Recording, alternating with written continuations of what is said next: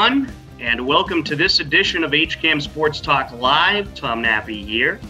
On today's edition of HCAM Sports Talk Live, we will play for you the Lauren Anderson softball field rededication ceremony. It was a great ceremony that took place a couple of weeks ago. We'll play the ceremony in its entirety, and you'll get a nice glimpse of the new looks of Field 6, the Hopkinton High School softball field.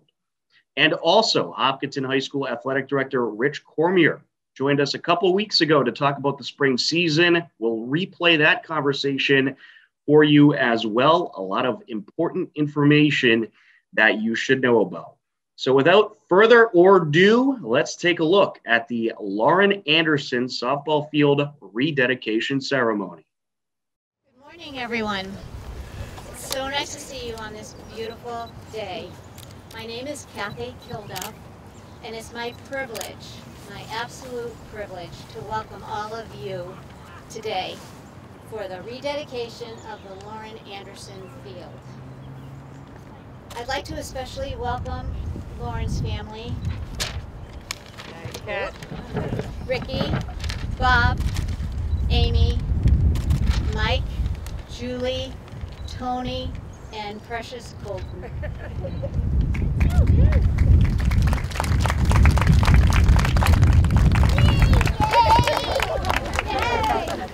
This day has been two years in the making. And now that it's finally here, it is time to celebrate. It takes a village to complete a project like this, that's for sure. Our village included townspeople, community organizations, businesses, Lauren's family, friends, teammates, classmates, and the Hopkinton School District Administration and the Hopkinton High School Athletics and Facilities staff. I thank you all so very, very much. Couldn't have been done without you. Our project goal was to upgrade Lauren's Field to the standard of all other fields at Hopkinton High. I'd like to think that we did it.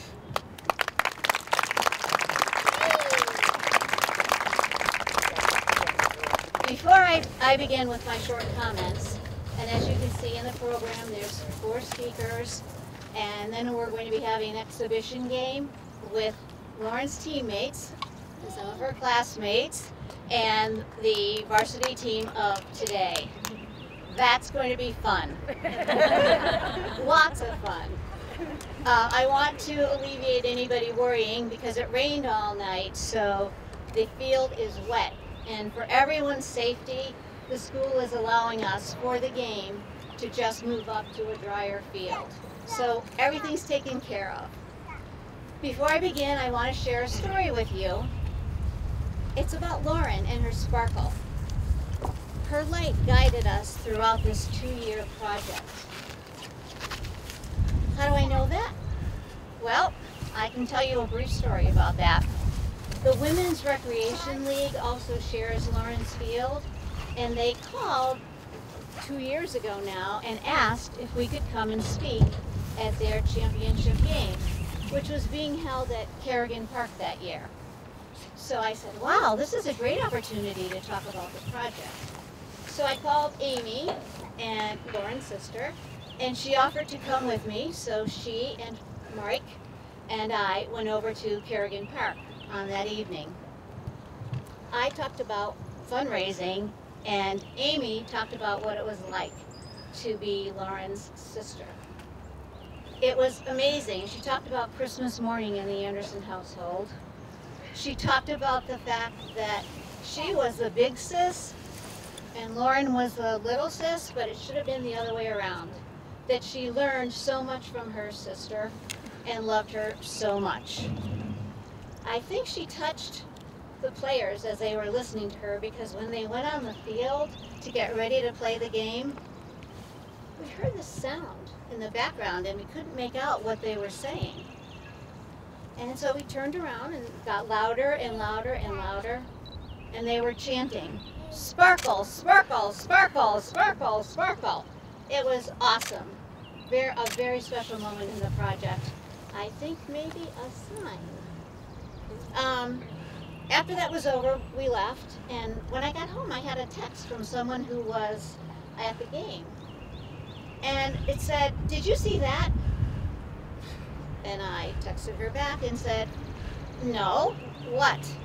And she said, When you guys left, there was a rainbow that appeared over Kerrigan Park. Now, I've been in Hopkinton for 47 years. I haven't seen a rainbow at Kerrigan Park ever. So my message to all of you is sometimes the sparkle comes in different forms. And I want to encourage you to keep your eyes open because it's there. Um, before I introduce our speakers, I would like to just take a tour with you of all the upgrades. First of all, trees were cut, brush was cleared up, an enormous job to get all of that cleaned up. I actually think the field grew. Just like, like Scrooge's heart, I think the field grew three sizes. We now have an outfield. The scoreboard has been totally refurbished. Every single part of it. We have two, I'm proud to say, brand new dugouts with benches and bat racks. Um, the bleachers, windscreens, uh, and fence toppers were also purchased. We have beautiful floral landscaping under Lauren's scoreboard, and we have two large rocks embedded under that same scoreboard that will permanently display our two plaques. The first plaque is Lauren's story, and the second one is a thank you to all those people that have gone above and beyond for the project. Both pla plaques have been shipped and we are eagerly awaiting their delivery. I do have the text on for both of those plaques uh, printed out that I'm going to be giving to the media and if anybody wants a copy I'm happy to give one to you as well. So, bottom line, thanks to each of you for being such a vital part of our village and for your generosity, enthusiasm, and support. You did it. You helped us meet our goal and bring the sparkle back to Lauren's Field. Sorry. And for that, I applaud you.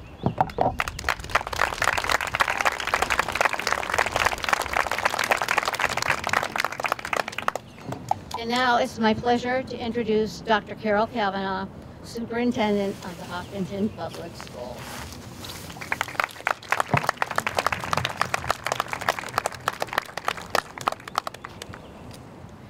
Good morning. Good morning, everyone.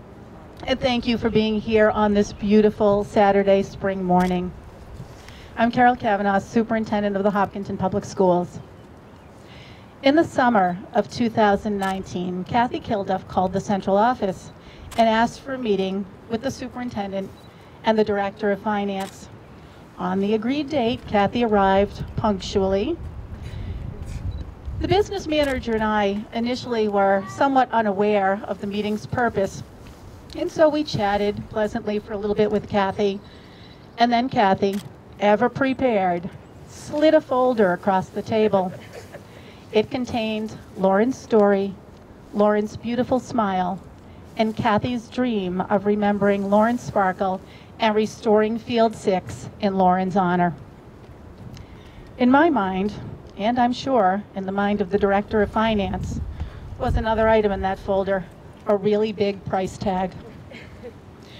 Surely, Kathy Kilduff's goal was what some might have understatedly called ambitious.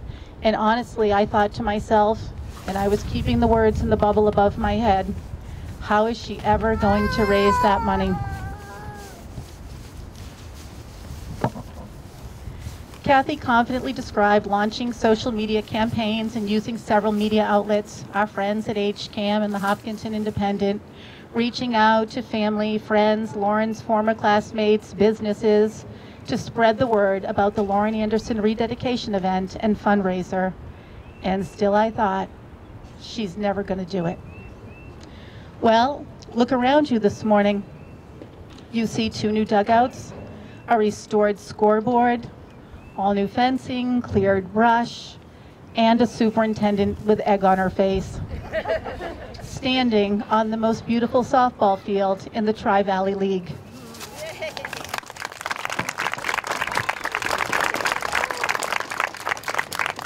So, right now, I should say to Kathy, congratulations, you did it. But I think that Kathy would agree, Lauren did it. Her memory lives on, and that very sparkle has fueled this fundraiser. Lauren did it. She is described as a young woman of positivity, energy, and determination, three attributes that some 25 years later have resulted in this amazing renovation and rededication.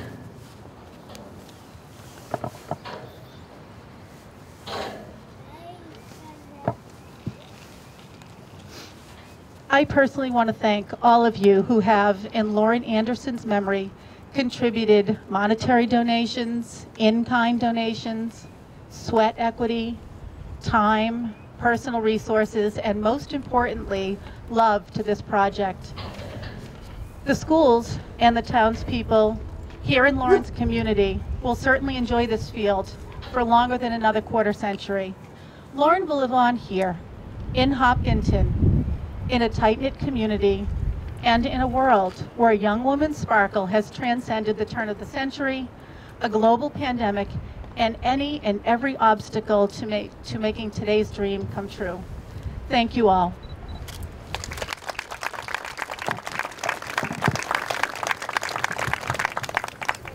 For your kind comments. We all appreciate it so much. Next, I'd like to introduce Curry Leahy, Lauren's best friend, teammate, and classmate.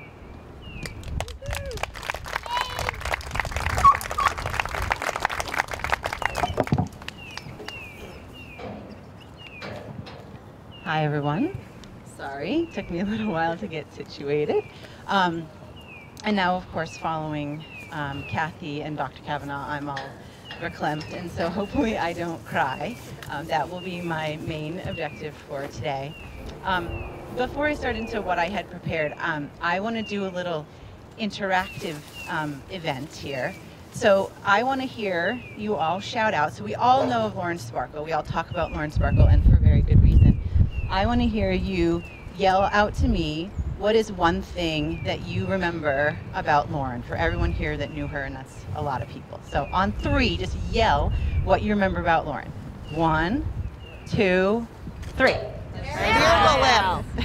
Awesome. I love it. And one of the things I heard from I think I think Julie and probably others too was dimples. And so to kind of um, follow up Kathy's story about the rainbow, um, my father and I will tell you that we were driving home from Lauren's funeral, we were coming over the hill of Main Street to West Main Street, and in the sky was an X and two dots of clouds.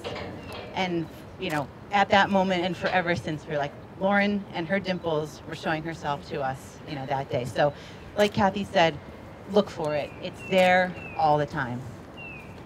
So, now to my real speech. Um, thank you, Kathy. Thank you, Dr. Kavanaugh. And hi, everyone. Um, thank you so, so much for coming today. It really is an honor to speak with you. My name is currently Hilana um, and I am here to represent Lauren's friends, her teammates, and her classmates. I'd like to use my few minutes today to do a few things. First, I want to be sure to recognize our fearless leader, Kathy, Kathy Kilduff.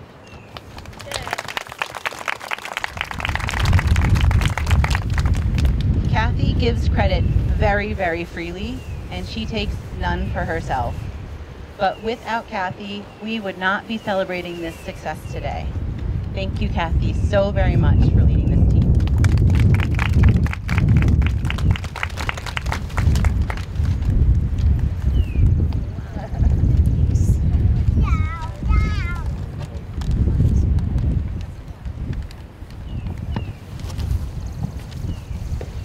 Second, I want to surround Lauren's entire family with our collection of love and admiration.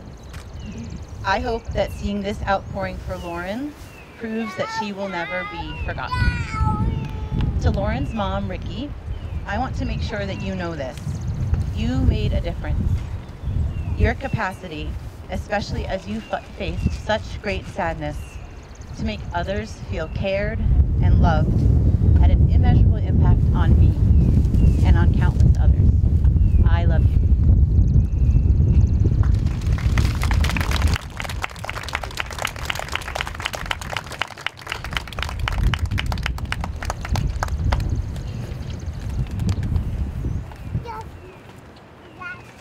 Third, and lastly, I want to celebrate our undeniable success. Look around at what we did. I think we celebrate best by ensuring that Lauren Sparkle lives on in the student athletes, in the community, and in all of us. To so many of us here, Lauren was a friend. She was thoughtful, supportive, and welcoming. As you girls play on this field, remember Lauren's friendship. Be a thoughtful teammate. Support younger, newer players. Welcome your opponents. Lauren was small, but mighty. You can see her mom. she was a little powerhouse. She was underestimated. As you look at this field, sorry, the wind.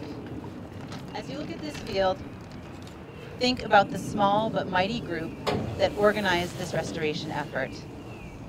Think about the small but mighty community that made this project a success. And think about all the small but mighty athletes who will be empowered by this beautiful field. Lauren loved being active. So many of my favorite childhood memories involve some sort of sport with Lauren.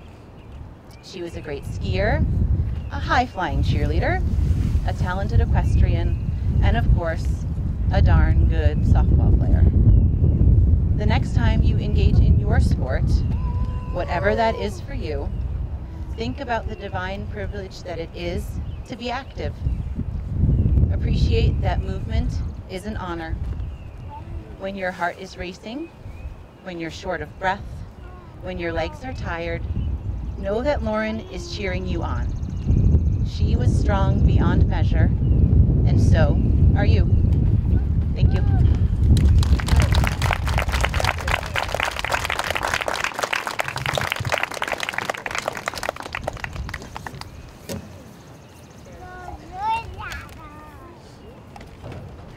Thank you so much, Curry, for your wonderful thoughts and remembrances of Lauren. And now I'd like, I have the privilege of introducing my friend, Ricky Anderson, Lauren's mom.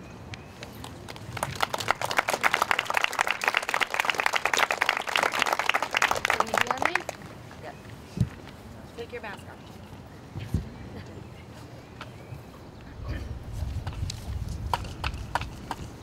Can you hear me now? Yes. Oh, thanks, Jack. Wow, I'm so humbled by all of this. See my nieces here? Almost overwhelming. It is overwhelming.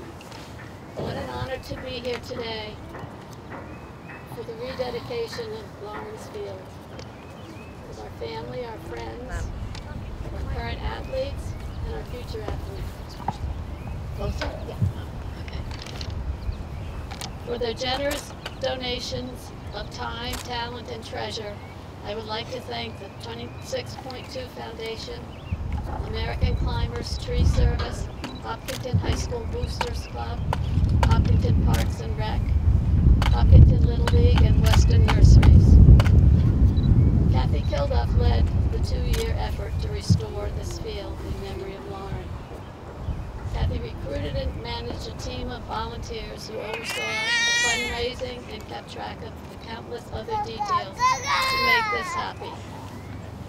Marie Eldred developed and drove all communications and media, all done from South Carolina to boot.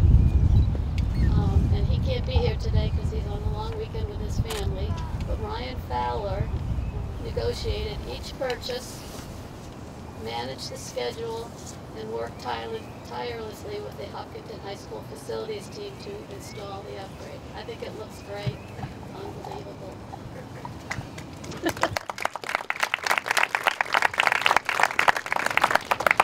And I know I'm not saying thank you to everybody, but thank you to everybody.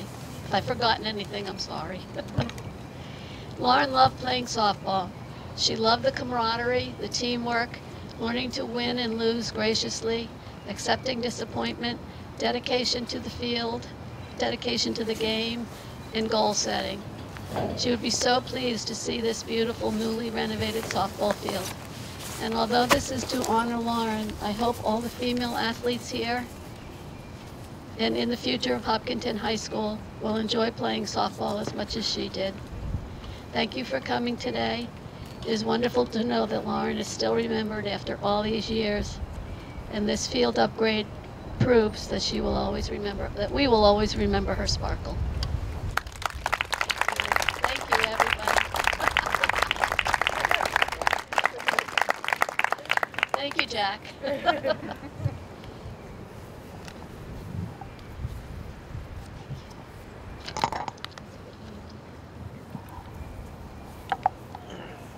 to all of our speakers. We appreciate your wonderful thoughts and heartfelt sentiments. Lastly, before we start our exhibition game, I'd like to say a couple closing thoughts, and I'd uh, like to speak directly to the varsity and JV team. So, what made this project successful?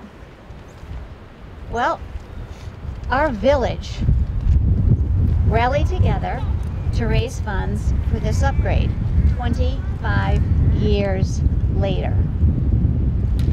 Does it make you wonder why? Lauren was kind and cared about people. She tried her best at everything she did. Simply put, she made a difference. That is her legacy. And in turn, people remembered her. So, to the JV and varsity teams, we are passing the baton to you today. We are all thrilled that you have this beautiful, updated, sparkly field on which to play. One that you can be proud of. What this means is you have everything you need to be winners. Pay it forward. It's your turn. Be the difference maker.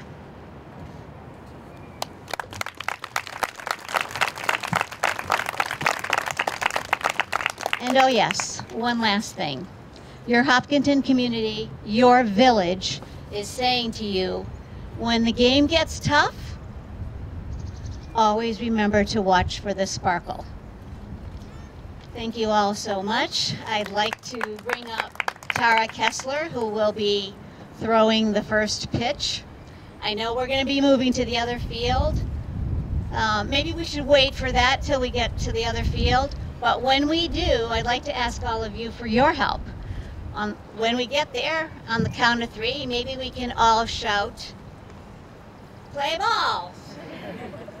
Thank you all so much for, for coming. This concludes this part of our program. We'll see you up at the upper field. Follow us. I just brought along some roses so everybody could take one home with them. Kathy, repeat that, Kathy. Okay. So don't Can't hear forget to that. take one. Ricky has, do you want to repeat it? But they can't hear you with your mask on. I just brought along some roses so everybody will have something to remember Lauren by today. You should keep her in your thoughts as you play your game. She'll be laughing at you. but nobody gets hurt.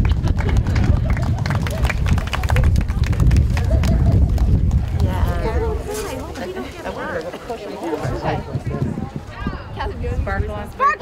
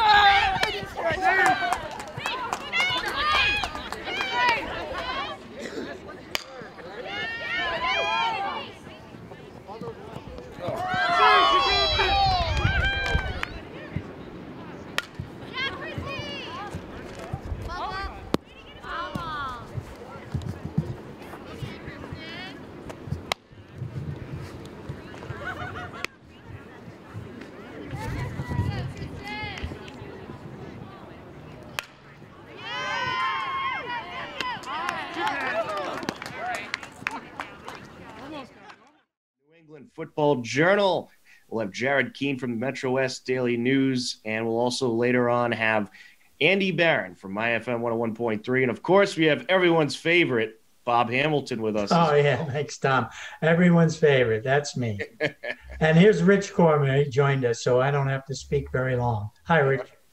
Hey, Bob. How are you? Good. Rich, how are you? How's everything going? It's good. It's busy, but good. So you made it through winter. You made it through fall two. Well, you made it through fall one as well earlier on. And now we got the spring coming up. How's everything going? How'd the planning go? Are we ready to rock next week? Uh, well, we started. We're, we're underway right now. Um, so our first day of tryouts was uh, was Monday. So we have over 500 student athletes uh, participating, um, which is awesome. If you think of you know just a year ago, right where we were a year ago. So uh, it's just great to have so many kids participating. Um, you know, there's obviously some unusual additions to the spring season with uh, for us wrestling and cheer um, being um, competed um, this particular season. Uh, we're still waiting on the modifications with wrestling, uh, but we have started our practices. Um, and then once we get those modifications, we'll be able to put together a full schedule and figure out what a meet's going to look like. And, you know, so some of those details we're still waiting on, unfortunately. Um, but yeah, no, things are going great. You know, I, I, you know, from everything I've seen, the kids are certainly excited. And I think there's a, you know, sort of a special place for, that I think everybody has for the spring athletes um, in terms of what they lost last year. Um, when you really think about it, 50% of the students we have playing spring sports right now were in middle school the last time we had a spring season. Um, you know, and your, your senior class was sophomores. You know, you, you don't really have returning players per se this year.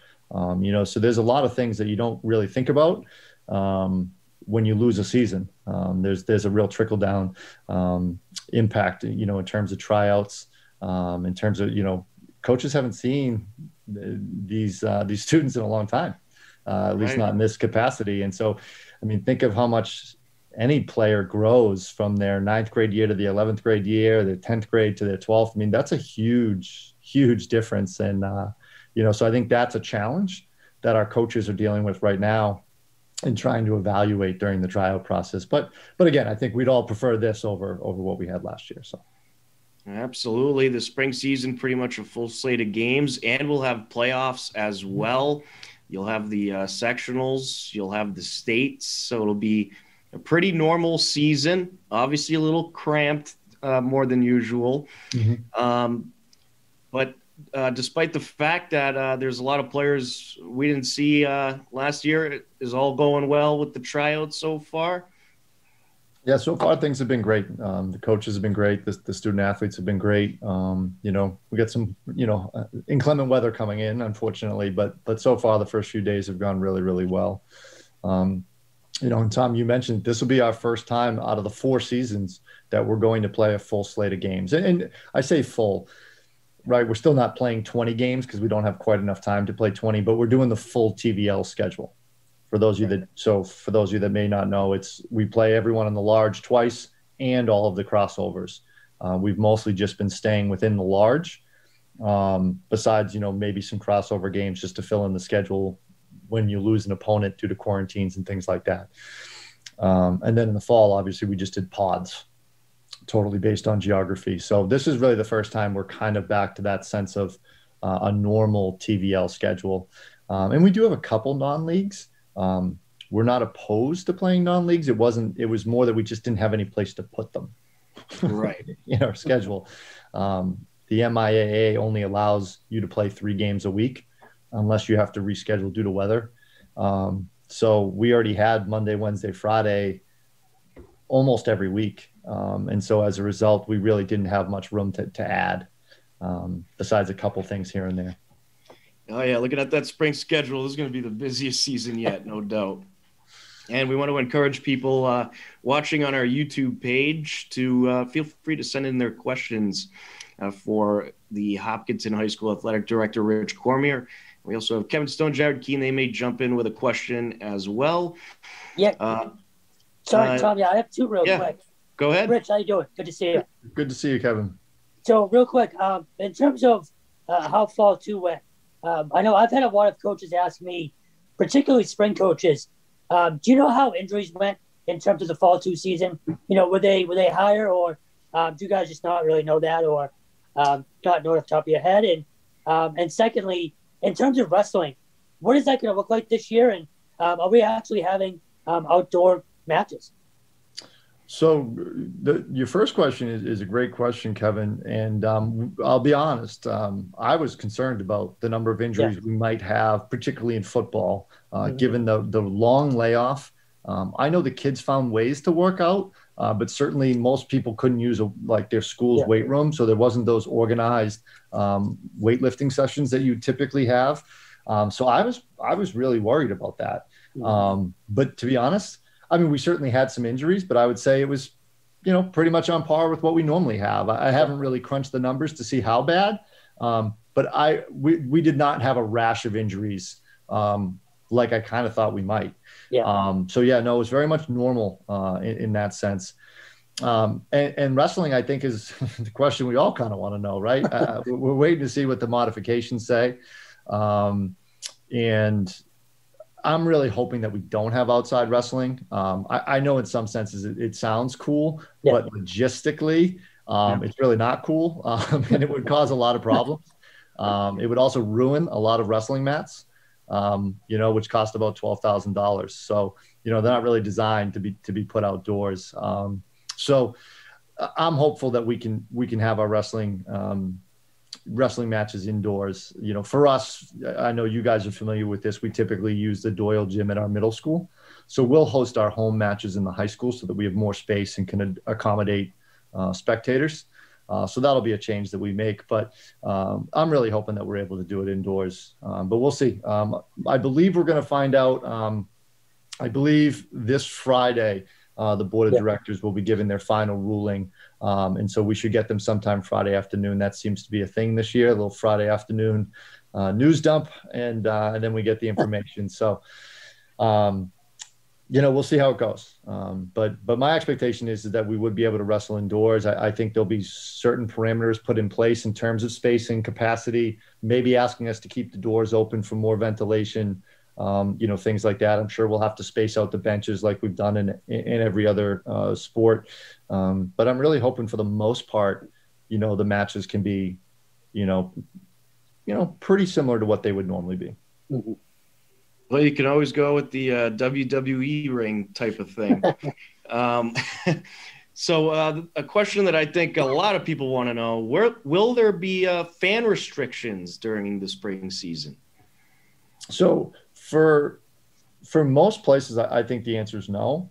Um, I, I, think individual districts will make decisions based on trends in their own communities and, and the comfort level that their board of health has, the comfort level that their district administration has. Uh, but I think you saw a little bit of the loosening of that um, towards the end of fall two. Um, now, again, we only had one outdoor sport in fall two in football. So the other three sports we just didn't have the space. It, it, wasn't that we wouldn't allow away fans. We just we had very limited space. Um, you know, and, and, for swimming, for instance, we had to abide by the pool rules on, on who could come uh, for those uh, virtual swim meets. So a lot of those components are now gone because we're playing games back on our own facilities. You know, we're not in ice hockey rinks or swimming pools or basketball courts and things like that. So um, I, I think what I'm interested in personally, um, and I don't know the answer, um, is what this, you know, I think everyone has seen that Governor Baker, um, I, I, think, plans to change the mask mandate uh, this Friday. And I don't, I, honestly, I don't know what that means for us. Um, and I'm very curious uh, to know does that impact schools? Because honestly, and I think most people know the schools have kind of had different rules all along, some stricter and some looser. I mean, if you think about it, we wouldn't have been in school all year long if we abide if we had to abide by the number of people allowed indoors, right? Like some of the companies have had to abide by those those number restrictions on how many people could be inside. If if we followed those rules, there would have been no in-person schooling.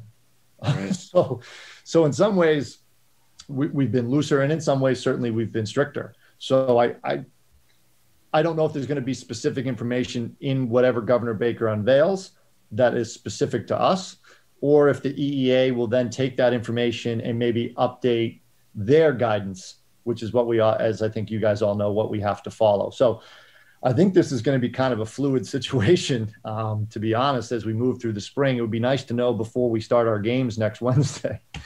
um, you know, but I think for now, you know, we're, we're kind of just going to be asking people. I actually have not sent anything out to our community because I've been waiting sort of to give the most accurate information that I could. But I think in the meantime, um, we're just going to be asking people to, to, to, just continue to do those same things. You know, be mindful of social distancing. You know, as of right now, I would say that masks are still going to be required on school grounds.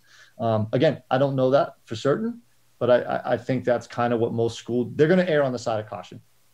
Well, I'm sure uh, most of the athletes are hoping that the mask uh, mandate won't be in effect for them because I can't imagine uh, what it's like run, sprinting in one of those things. Uh, well, I, have said to many student athletes, I, I, don't know how they're doing it. You know, I, I, really don't. And you know, most of them do it without any complaining. They just they're so used to it now. They just they just kind of do it, and it's very impressive. I don't think the kids get enough credit, honestly, for playing in mass um, because it is really really challenging. And I don't know if there'll be any changes there, as you just mentioned, Tom. Um, you know, with the outdoor, you know, with the outdoor sports, I think for for cheer and wrestling you know, I think those are indoor sports, and and certainly they're also considered high risk sports. So I would imagine masks will still be in play for those two sports. Right. Um, but outdoors, you know, I I don't know why is the left fielder wearing a mask. Yeah, exactly. I, I, I, you know, I don't know, but um, you know, we're just like I said, we're just kind of doing what we're supposed to do to make sure that we can continue to play. Um, and I still think if you ask students if if their option was to play with a mask or not play at all, they'd still take the play with a mask. Mm-hmm. So as hard as it is and as impressive as it's been that that they've done it for this long and throughout the year, you know, I, I you know I think we're almost there. Um, one thing that you have to consider with schools is, uh, or two things I would say is, you know, for those people that are making these decisions, is you, you see across the state and really across the country, the numbers of cases of COVID are, are in our age bracket, right, or are in the high school kids. Um, so that that may factor into the decision. Uh, and then the other piece is many schools uh, like ourselves, we we came back full time on Monday, um, and so I, I don't think people want to jeopardize the fact that we are back in school full time, you know, with all of our students uh, on a daily basis. Um, so I think those kind of um, factors, you know, are, are going to weigh on the decision whether or not they're going to ease up on the mask mandate on school grounds. Um, but we'll see. Honestly, I'm, I'm very curious to see what, what happens on Friday and, and what it means for us um, because you know we're getting used to changing on a dime. We've done it all year long, but certainly this would be big. Um, so it, it, and, and probably an easier switch. I mean, if if I went out on the field today and told the kids they didn't have to wear their mask anymore, I'm pretty sure it would go over just fine. So, uh, you know, it, it's more just to see that. Um, what I worry about, honestly, is that it, it could be harder to enforce. Right. Um, right. If in certain places you don't need to wear a mask, but then we're telling you you do need to wear a mask, it's it, it's going to become challenging. Um, it's already been challenging, uh, to be honest. So, you know, we'll, we'll see how it goes. Yeah. Thanks, how you doing? Oh, sorry, Tom. Jared. Oh, Go no. ahead, Jared. How's it going, Rich? Um, how are you? Not too bad, man. Um, Kevin actually asked about wrestling. I was, I was actually going to ask about wrestling, but I guess I'll just ask. Um, how much sense around the campus is there amongst spring coaches and athletes and even yourself and others involved that this is going to be for the most part um, a relatively normal spring season? You know i know that's kind of weird to say you know with changing on the fly and you know uh, you don't really exactly know with masks right now but um, how much sense do there is there that this is just going to be a relatively fairly normal spring season? Um, you know getting back to you know the normalcy that people are you know or were used to i guess mm-hmm. pre-covid and everything and and all that. Um, yeah again just kind of what sense is there around the campus is just uh, of normalcy um, you know for these spring athletes coaches etc well i think it's all relative now right? Like what what, what is normal anymore? And right. you know so in some ways this will be a more normal season than we've had thus far. But i think there's a few factors that are going to continue to make this anything but normal. Um, I think we're still going to see large number of students who are going to have to miss practices and games uh, due to being close contacts or testing positive. That's something that's not going away. Um, the numbers of, of cases right now are still quite high. Um, and, and, I know people, you know, many people are vaccinated now and so forth. And, and certainly I think overall as a society, we're trending in a better direction. Um, but I think this is still a reality for our athletes. And I think they know it. And I think more than any other group of athletes, they know the pain of losing out. Um, everyone this year has lost out in certain ways. There's no doubt about it. No season was normal this year. Um, they've all experienced a tremendous amount of loss. Um, right. Academically, socially, athletically, musically, in every capacity, right? And um, so I, I, do think it's going to be more normal on the on the surface, you know, in terms of our schedule. We have a state tournament, but I'll be honest, Jared, and to everybody, I still really fear that situation where we have a state tournament game and five seniors test positive that day. Like, uh, there's still these things that are different and that are the realities that we're living with. Right. And that's what I still really do worry about, to be honest with you, because that's devastating. And then that's just one more loss uh, on top of all these other losses that, that kids have had. So um, it, it's something that I, am very mindful of, and I'm just hoping that we can kind of get to that finish line and and then hopefully turn a page this summer. Uh, and, and, to your point, Jared, truly have some more normalcy um, mm-hmm. come come the fall. Um, you know, where this is hopefully less of a of an issue with positives and quarantines and rule changes and, and, and all these different things. So yeah. um, I'm still kind of in the mindset that we we still really need to err on the side of caution, be safe, try to make sure people are making the right decision, being healthy, so that we can get through these seasons intact. I guess especially with yeah, I guess especially with the spring season, knowing that again all spring athletes lost out last year. I mean, this is a season that's very important to a lot of athletes, coaches, etc. You know, again, knowing what they lost last year. So, yeah, no, yeah, definitely. Hey, Rich, just to piggyback off of uh, uh, Jared's question, you know that that threat is still there, obviously, but um, now that we're talking, you know, like we're on the back end of this, have you had a chance at all to kind of look back on this past year? Because um, I know covering my last football game the other day, you know, you kind of look back and say, "Holy crap! I can't believe we're here." You know, at this point now, have you given yourself a chance to do that? Honestly, no. Uh, there has not really been a. Uh, there's not been a lot of time to reflect yet. You know, I'm just kind of day by day, hoping we get yeah. through the next day um, you know, it's it's been a long year. Uh, it's been a grind, uh, you know, I think for everybody. Um, but again, we just try to keep at the forefront that um, we do what we can, right? Control what you can control. There's so many things about this entire situation that, that none of us have any control over. So I've just tried to control what we can.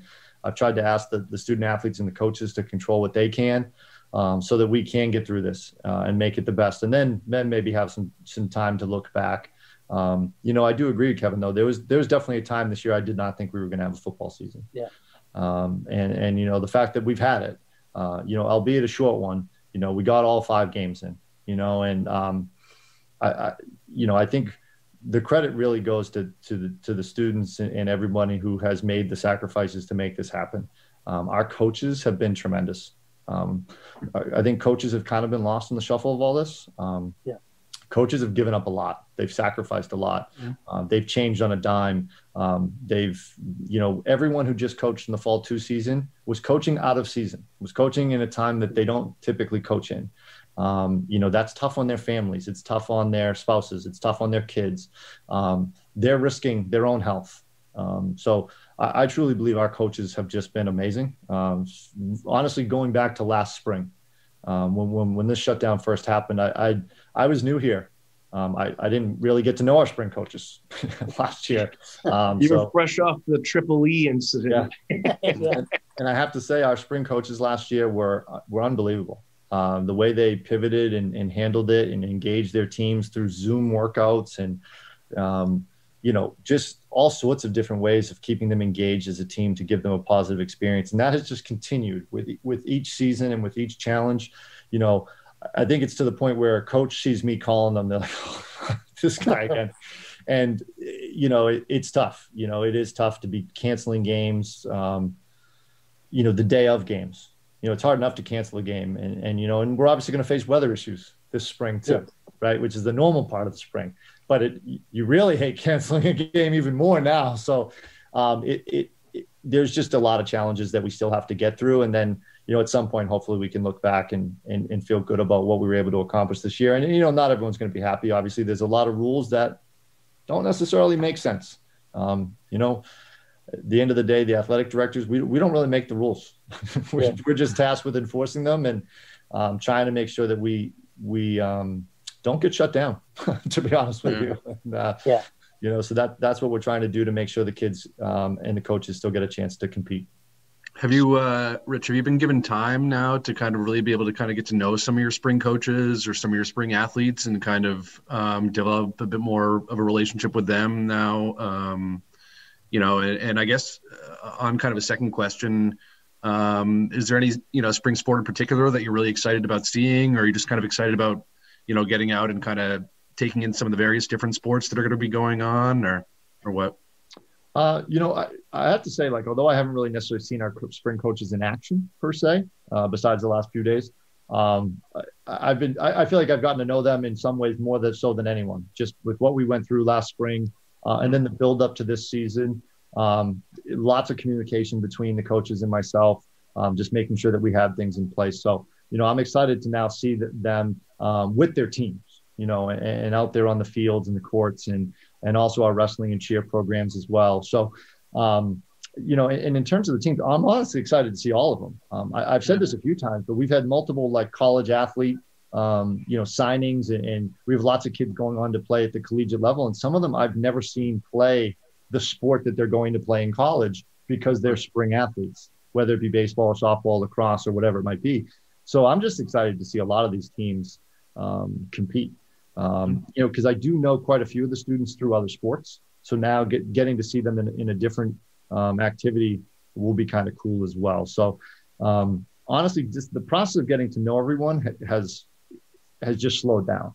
Right. Usually right. by the the end of your second year, at least for me, I, I, would feel like I have really strong relationships with a lot of people. But you know, with the mask wearing and with the limitations and with students in every other day and you know all the things that we've all dealt with, it's certainly been a challenge to develop relationships that you would normally be able to develop. I was curious, uh, and I'm guessing the answer is no, but will there be any rule changes with the spring sports? Uh, you know? Oh, you mean like drastic rule changes? Yes, like in-game rule changes. No, there's not much. Um, there really isn't. There's there's a couple little tweaks with lacrosse. Um, nothing that you'd probably notice um, at all. Kind of similar to the hockey rules about scrums and and kind of the face-offs and draws and, and things. Like, so really, really sort of minor stuff. Um, you know, we don't know yet with wrestling. Um, cheer certainly still has some some restrictions compared to what they're they're normally able to do. Um, track and field is is you know again there's some some of the stuff is carried over where we're going to use every other lane. You know some of some of those things, but uh, baseball and softball, um, which were two of the first sports really to start back up, um, you know, last summer, are pretty much you know, there's really no rules there. The one rule change is not COVID related is is the pitch count in baseball, uh, which was oh. going to be instituted last year. Uh, of course, we didn't have the season, so that's a new rule change through the NFHS. That's not a COVID related um, rule, and I think you're going to see that though be very important uh, with everyone playing three plus games a week. Um, right. You, you, know, you're going to see a lot of kids pitching. to, to, be honest with you, so um, you know, so I think that's going to be impactful, uh, even though it's not COVID related what was it like 60 70 pitches a week or something like that yeah i'd have to go back and look because there's a few different factors that go into it but um yeah right so you won't be seeing people like pitch on back-to-back days anymore like you used to and um, you know things of that nature. And I, and I think a lot of coaches did a great job managing it anyway. Um, you know maybe not all coaches um, but I, I think most coaches are very cognizant of, of their players and, and making sure they don't mess up their arms for later in life. So, Rich, I wanted to ask you I know we've spent most of the time talking about uh, everything changes on a day to day basis, and you're tied up with canceling, not canceling, moving on. That's part of the AD's job. But have you had any time to look forward to next year? What might happen on uh, the beginning of school next year? So what we're doing, it's a great question. So what we're doing right now, honestly, is we're moving forward, making our schedule as if we're going to have a quote unquote normal year, Um, so, um, and and next year there's going to be significant changes, right? We're moving to the statewide tournament. We're moving to a new ranking system. Um, so we are very much um, looking ahead as well. Uh, to your question, Bob, as a league um, and as a school, I've. I mean, it's kind of funny. I, I've. We were in the middle of football season, and I was also talking about setting up. Hey, this team's looking for a week four game next year. so we are very much in the process of, of putting in place our schedule for next year, uh, trying to find non league games for next year. Um, so, yeah, we're, we're, kind of plugging right along like we normally would. Uh, we're a little bit behind. Uh, by now, honestly, in a typical year, the fall schedule would be pretty done you know, I mean, except for some of the lower levels, the middle school and freshmen, sometimes you have to see who's going to have those programs, and it takes a little bit longer to get those schedules confirmed. But you know, our our varsity schedules would be done by now for the fall. Um, so we're still working on that. But I will tell you, our our our varsity JV schedules for next fall are probably about ninety percent done. So yeah, we're we're kind of moving forward, but again, we don't know. Our our students going to be expected to wear masks next year? I don't know. So those are the things that we just don't know yet. So for now, we're just trying to, you know, kind of get ready. Here's what our, you know, when the season starts, and here's what sports we're offering. Here's our schedule. You know, all those types of things.